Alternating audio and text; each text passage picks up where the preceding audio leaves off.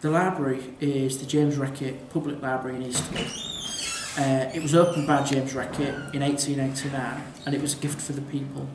It was the first library to be open where you didn't have to pay to hire a book. Um, so it was, it was for the poorer people of Hull basically. There were a lot of businesses uh, and businessmen in Hull at that time that had private libraries or subscription libraries. But to join, you had to have a lot of money um, because you had to pay uh, to take the books out.